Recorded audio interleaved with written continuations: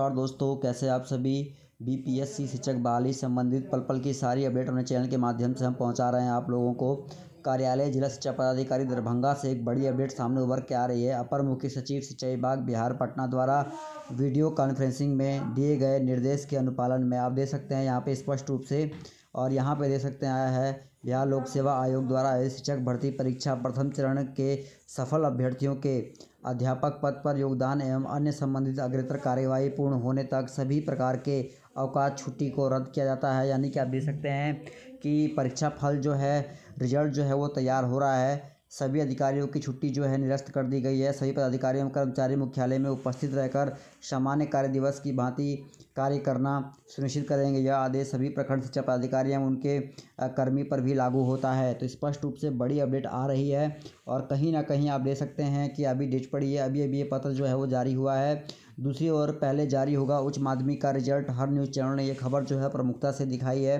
तो आज कहीं ना कहीं कह सकते हैं कि एक बड़ी खुशखबरी मिल सकती है। और यहाँ पे देख सकते हैं के के पाठक का जो है अपर मुख्य सचिव का पत्र जारी हो गया है। और बड़ी अपडेट आ रही है कि रिज़ल्ट अब कुछ ही समय पे आने वाला है। सभी जितने भी कर्मचारी हैं, आईटी कर्मचारी हैं, उनको वहीं पे रोक दिया गया है और कहा गया है चाहे रात के बारह ही क्यों ना बच जाएँ, आपको रिज़ल्ट जो है प्रकाशित करना है।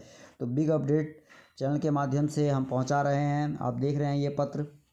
आपके सामने है। अभी की देख सकते हैं, यहाँ पे डेट पड़ी है सोलह दस दो हज़ार तेईस और कहीं ना कहीं लिखा है, सभी कर्मी कार्यालय, जिला शिक्षा पदाधिकारी दरभंगा को सूचना दिया जाता है। सभी प्रखंड शिक्षा पदाधिकारी दरभंगा को दे सकते हैं। कार्यालय का एक बड़ा आदेश जो है वो जारी हो गया है। तो बिग ब्रेकिंग न्यूज़ सामने उभर के आ रही है। कुछ समय और लग सकते हैं, लेकिन आपका रिज़ल्ट जो है प्रकाशित होगा। तो देख सकते हैं कि रिज़ल्ट को लेकर और कर्मियों के कार्य को लेकर यहाँ पे कि भाई आप अपने काम में डटे रहिए। बड़ा, बड़ी दे सकते हैं अपडेट आ रही है कि सफल अभ्यर्थियों के अध्यापक पद पर योगदान के लिए दे सकते हैं। तो बिग ब्रेकिंग न्यूज़ दोस्तों, इस वीडियो में इतना ही। धन्यवाद। जय हिंद।